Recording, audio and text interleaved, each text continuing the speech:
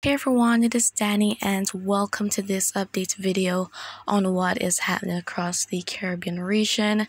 I hope that you're all having a really great day thus far.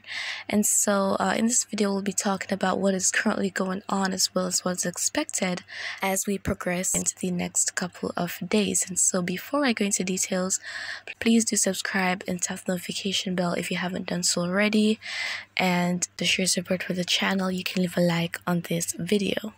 Okay, and so in this video, in the latter part of this video, I'm going to be explaining uh, what is the correct answer to the quiz that I posted in the community uh, section of my channel.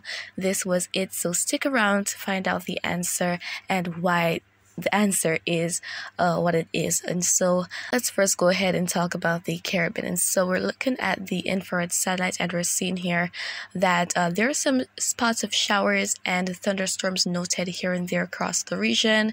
Uh, we see a bit of activity in the vicinity of the Windward Islands.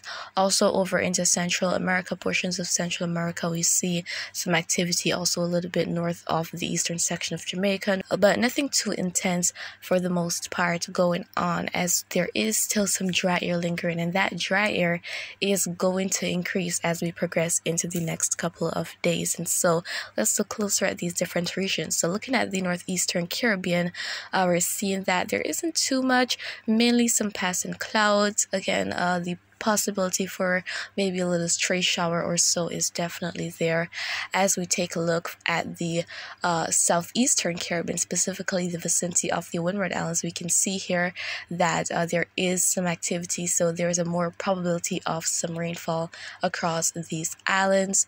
And then as we take a look at the vicinity of the Greater Antilles, we see a bit of activity just to the north of eastern Jamaica, and of course some cloudiness here and there, but nothing too intense and then same story as we head over uh, into parts of Central America, the Yucatan, Belize, uh, Honduras, going over to Guatemala. There is just a bit of activity taking place with uh, nothing too intense. So across the region, there is no uh, intense deep convection that is noted at this time. And so uh, let's go ahead and take a look at that water vapor map and we can clearly see all those yellows that indicate uh, dry air. And so uh, where we see those white, that is where we have more uh, activity taking place and decreased dry air in the region. So that's the case for parts of the southeastern Caribbean. But for the most part, there is that dry air that is dominant. And so let's now go ahead and take a look at what the models are expecting in terms of how much rainfall is expected between now and the midweek. And first up, of course, we're taking a look at the euro.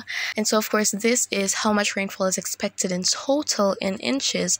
And so uh, there we have the different colors over to the right and the different values to show how much rainfall each is uh, indicating each of these different colors or shades is indicating. And so between now and wednesday where we see those blues uh, that is more rainfall expected than where we see a lot of those greens of course because as we go up from those greens to those blues shades of purple and so on uh, that is increased in rainfall expected in total. And so we see that the most rainfall expected across the region will be taking place uh, in the vicinity of central America and also northern South America a lot of other areas, maybe just some brief showers here and there, but nothing intense. And then it's a similar story for the GFS. GFS is expecting that uh, that is where the most rainfall is going to be along uh, portions of Central America, as well as South, uh, Northern South America, of course. And so that is really what is expected. And then in terms of all that dry air, uh, we can definitely see here where uh, as we're going to be heading into Thursday, uh, there is going to be that pocket of dry air uh, now dominating portions of the northwestern Caribbean. a little bit of moisture seen over in parts of the northeastern basin. And so the euro is expecting somewhat of a similar story in terms of uh, all that dry air that is expected around Thursday across uh, portions of the Caribbean. And so that is really what is happening right now. So I made a video which I'm going to be attaching to this now about the answer for the quiz that I posted Saturday. And I really hope that uh, it's going to help you understand what is the epicenter, what is the focus, and overall if you got the correct answer. Let's go ahead and visit the quiz that I posted. It reads The point within the crust of the earth where an earthquake begins is known as the, and three options were given, namely starting point, epicenter, and focus. So option A, sadly if you chose that, it is out. Yes, we want to know where an earthquake starts inside the crust, so automatically that would be the point of origin, but it has a name. That means the answer is between options B and C. First thing, we have to keenly analyze the quiz. The keyword to pay attention to is within, and I should make mention that focus and epicenter are often confused and even used interchangeably, but they are most certainly different. Before I tell you what the answer is, let me try to make it as understandable as possible so that if you got it incorrect, you'll be sure of your answer the next time a similar quiz, question, or even a discussion comes around. So I'll be doing a sketch to aid in my explanation and let's recall that as humans, we live on the crust of the earth and the crust is made up of large slabs of rocks called plates. So no, it's not the kind of plates that you would be eating your dinner from. These plates often make contact which results in earthquakes.